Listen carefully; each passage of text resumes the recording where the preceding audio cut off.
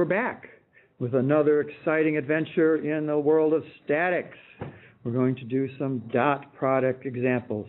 I'm going to very quickly, and I promise very quickly, give you the definition of dot product just as a refresher. And, you know, you can always skip ahead to see the picture of a wrench. That's where I'm going to start the example. So, um, if you just don't want to listen to this part. If I have two vectors, we'll call that one A, and we'll call this one B, and there is some angle theta between them. Um, I say that the dot product of A, and I need to put those, don't I, just to be consistent. A dot B is by definition A B, where those are the magnitudes A and B, times the cosine of theta, where theta is between 0 and 180 degrees. And it represents the smallest angle between those vectors. It's not, it's not that angle. Okay? The result, if you look at this, A and B are scalars, cosine theta is a scalar, the result is a scalar. Um, the units will become whatever the units you know, of A and B are multiplied together. Um, because A, B, and cosine of theta are all scalar quantities, you can do most scalar math rules, distributive, commutative, things like that. The order in which you process these um, doesn't matter. You can kind of rearrange things at will, unlike normal vector math where the order is huge. Okay? Um, what do we use this for? The most common, absolutely most common thing which we will be using this for in this class, and we will use it over and over and over again, is we will project a, a vector along another vector. Okay? Um, if nothing else, you need to uh, remember this. I've seen too many students will get a big complex problem. It's a 3D problem. We're trying to figure things out. And there'll be a vector off at some angle, and step one is to project that vector onto an axis. And the students sit there, scratch their head, heads, and miss the question on the test. Don't do that. Okay? Um, project. When I say project, you say dot product. I mean, bam. It's just it, that needs to be just crammed in your head. I say project. You say no, no, don't don't don't just think it. Say it. I say project. You say dot product. Right? Every single time. It just bam automatically. When the word, if you see the word project on this on a test or on a homework problem, or you see that you have to do a projection, bang, dot product instantly, instantly. Um, the other thing it can be used for is finding the angle between two vectors, okay? Um, and we'll do a quick example of that. But I, I want to just remind you of one, one of the quirks, right? Or what makes the dot product so handy dandy is if I have my axes here, and I have a y, really. I have my unit vector x and my unit vector y. When I do dot products, not x and y, come on. This is j, and that's i, okay? When I'm doing dot products, okay, um, anything in the i direction dot something in the j direction, right? Well, they're 90 degrees apart. What's the cosine of 90 degrees? Zero. So anything, any i dot j equals zero, or i dot k or j dot k. If I have two components that I'm putting together in the same direction, i dot i, for example, that is equal to 1, right? So as a result, when I have vectors in Cartesian coordinates, where, say, a equals ax uh, i plus ayj plus a z or z if you're not in the United States, k B equals in the i, j, and k are vectors. A x or oh man, B x i plus B y j plus B z k. Okay, when I do the dot product, if I was to multiply that out, there's like a million terms of all those things multiplied together. But all the i, j, and j, k, and j, i's, and those terms all go to zero. So in the end, all I'm left with, if I do a dot b, is simply ax bx plus ay by plus az bz. That's it. That's the dot product. It's very simple, okay? Um, so if I, and if I have vectors in Cartesian coordinates like that, I can manipulate them and do projections with very simple arithmetic. So let's, let's run to the promised examples. I didn't even need two pages. Okay, here's the wrench. A Craftsman 3 8 drive wrench. I've got one almost identical. It's an older model. And I noticed this spring when I was down at the hangar, the my uh, that the ratchet part that had fallen out and is now lost. So now I've got a worthless ratchet. Uh, but that's beside the point. Okay, so I have this wrench and I'm applying a force along this direction here in red. Okay, and I, you know, for finding an angle, I want to know what's the angle between the wrench and that in that direction that I'm applying the force. So it's, it's this angle right there, right? What is that value of theta? Okay, so I can look at this, and if I look at the wrench, we'll call the wrench W, I see that the uh, vector that represents that wrench from from the origin, and let me, well, I got too much red here. Let me do purple. So the, the vector that represents that wrench there, okay, is going to be 2.5i minus 15j, right, by inspection. Okay? And my other, uh, my force is, is given in Cartesian notation, so that makes that easy. Um, so my dot product, W dot F, is equal to now I got to be careful here. Um, I want this angle right, right here, right?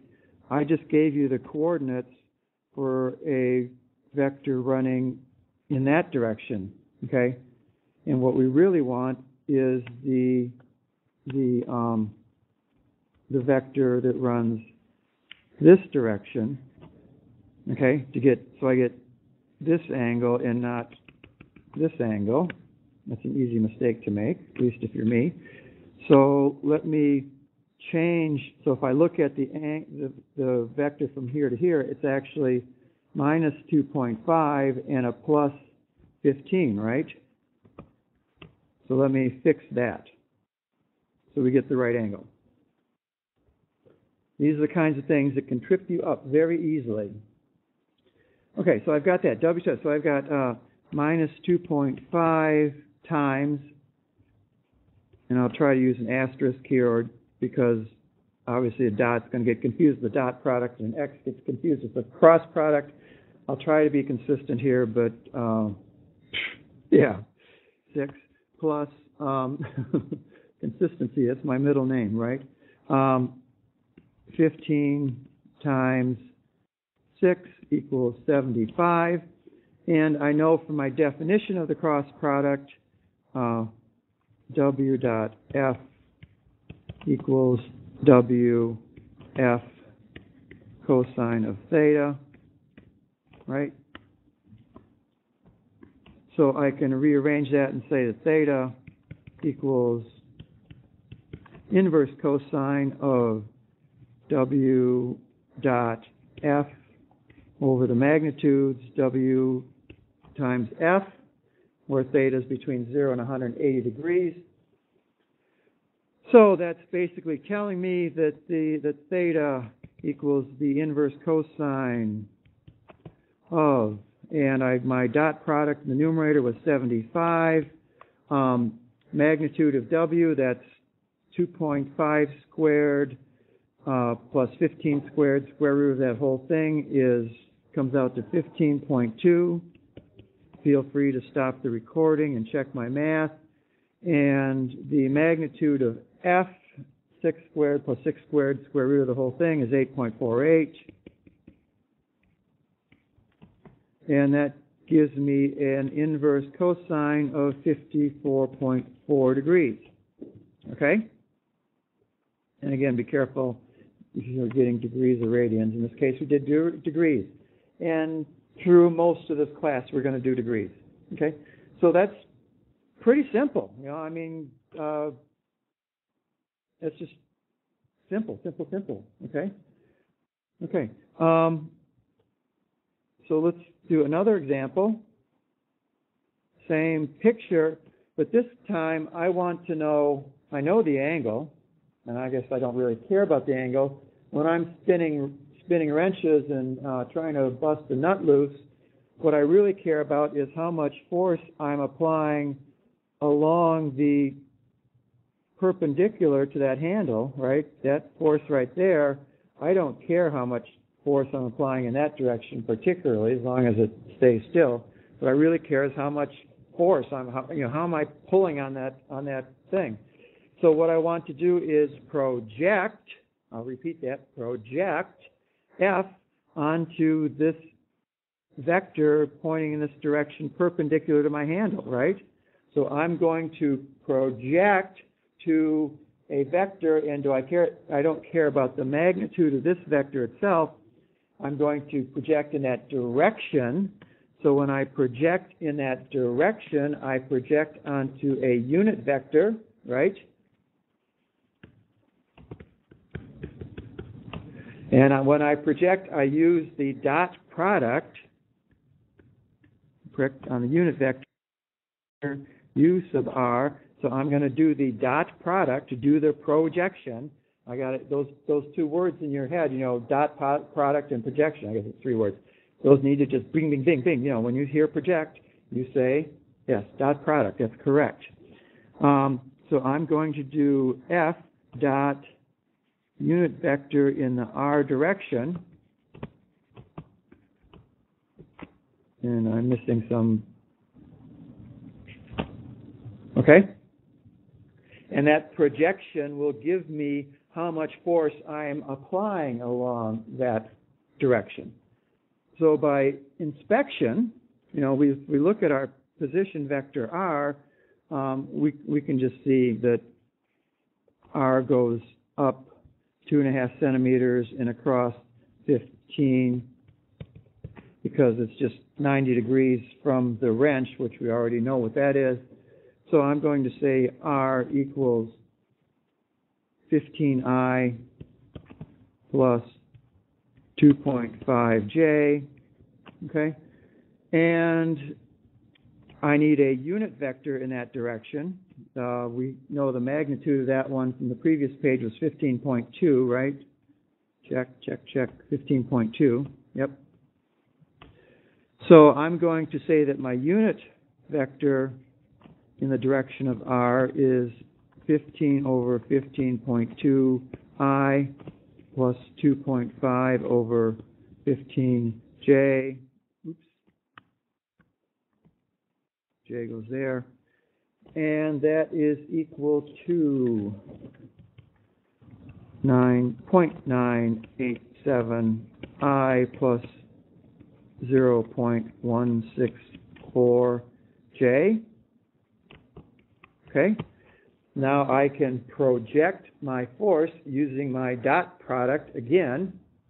So F dot U sub R equals, and F we said was 6I, 6J, so I've got 6 times 0.987 plus 6 times 0.164 Uh, so the magnitude of, of this force along the r direction is equal to that projection, that dot product equals six point nine one in newtons, if we assume that this was in newtons before, okay? And originally, uh, that compares to our force before of eight point four eight. We got six point nine one. That seems reasonable, given the angles and given our geometry, okay? And that's all there is to it. It really is that simple. Uh, you know, I can give you a big 3D problem with, you know, all kinds of different ways of specifying the vectors, but we covered that in earlier videos, getting from position vectors to Cartesian coordinates to from slope vector, slope notation, and you know magnitude and angle notation. Uh, if we get generally probably 90% of the problems we do in this class, you're just going to want to get all the vectors in Cartesian coordinates, and then you got the i's, j's, k's, and you just dot product, and later on cross product, add, subtract, divide, whatever. And the problems will just fall out. But the key is to get from where things are pointed to where you want them pointed, you know. And when you need to project, what do we use? Yes, the dot product, okay? I say project, you say dot product, and I say, that's the end of this video. Thanks for watching. Bye.